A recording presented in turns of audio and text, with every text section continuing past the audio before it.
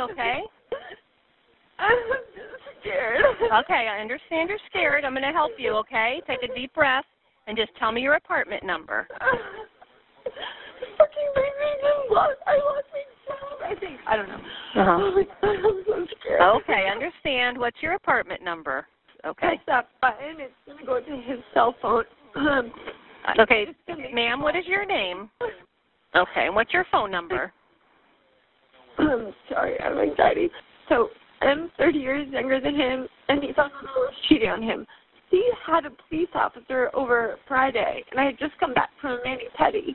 I know I sound so ridiculous. And he had a police officer here, and the officer was like, "No, you, can't kick her out." hmm I have until tomorrow to file back from this lawsuit. He's suing me to leave this apartment because he found out I cheated on him. It's like, really? I called the police, but now I'm really scared. Okay. Go to my office. I'm scared. No, no, no. I'm so scared. Um, Okay. Okay. And you're worried he's going to come there. I Okay. on him, so now he's going crazy. That's why. What this is what's going on. You find out someone's cheating on you and he's going nuts? Like what are you gonna fucking kill me?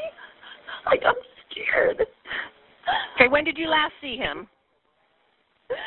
Today. He got back from playing tennis and I've been on the, my computer looking for apartments because I don't have Okay, so you saw him at home today? yeah, so we don't live together.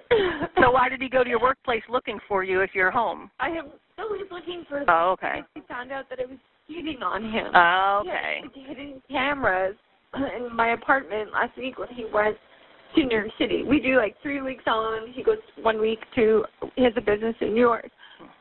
Moved down here like three, four years ago.